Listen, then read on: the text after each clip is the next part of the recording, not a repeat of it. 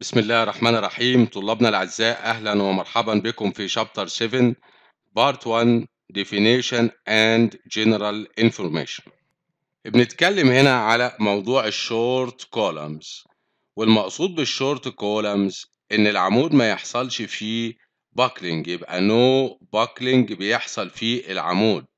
لأن في ال long columns ال long columns بيحصل فيه buckling يبقى الفرق بين العمود اللي هو الشورت والعمود ال long. العمود الشورت مفيش buckling العمود الطويل بيحصل فيه buckling بالنسبة لل columns بنقول إنها vertical structural members transmit axial compressive loads with or without moment. يعني ال column اللي عندي ممكن يبقى عليه axial force أو ممكن يبقى عليه axial force plus moment زي الحالة بتاعة العمود اللي بيبقى موجود فيه ال frame. لو أنا عندي frame بالشكل ده بيبقى العمود ده عليه normal force وعليه moment بالشكل دوت. يبقى إحنا عندنا ال vertical member دوت اللي هو ال column بينقل ال axial compressive load with or without moments. بينقل الحمل منين؟ من ال floor أو ال roof to the foundations لأننا عارفين الأحمال بتتنقل من ال slabs إلى ال beams إلى ال columns ثم إلى ال foundations عندنا هنا بعض ال general information على الأعمدة. أول حاجة شكل الأعمدة اللي عندي ممكن العمود يبقى square أو ممكن يبقى circular طبعا ال square ده حالة من العمود اللي هو ال rectangular حالة خاصة. هنا في أبعاد العمود اللي هي ال minimum dimension في حالة العمود ال square بنقول ال B لا تقل عن 25 سنتي.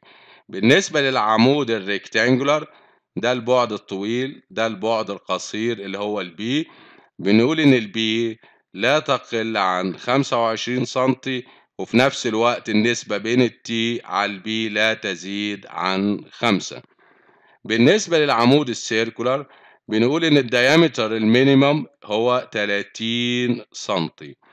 طب ده بالنسبة لل dimensions بتاعة ال column بالنسبة لأنواع العمود في عندنا العمود اللي هو ال tied أو العمود اللي هو ال spiral ال tied بتبقى الكنات عندي بالشكل دوت ال spiral بتبقى الكنات كنات حلزونية حوالين الأسياخ ممكن ال column اللي عندي يبقى composite بمعنى إيه؟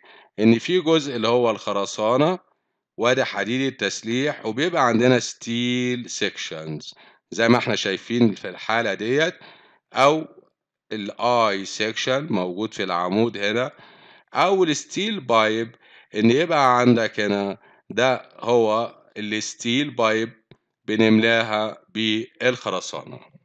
معظم الأعمدة عندنا بتبقى tied columns بمعنى في كنات والهدف من الكنات عندنا إنها support ال long bars يعني بتعمل عملية إسناد للأسياخ اللي موجودة اللي هي الحديد الطولي.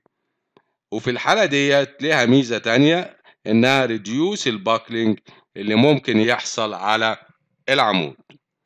ال spiral columns اللي هو فيه كنات حلزونية. أهم حاجة عندنا إن ال pitch في الحالة ديت بتبقى من 1.3 إلى 3.3 إنش لو إحنا شغالين بالإنش بنقول ال spiral ب delays ال failure بيقلل موضوع ال failures اللي هو ال sudden أو ال brittle بمعنى بيبقى عندنا ductile failure وده مهم جدا في المنشآت الخرسانية ما يحصلش ال sudden failure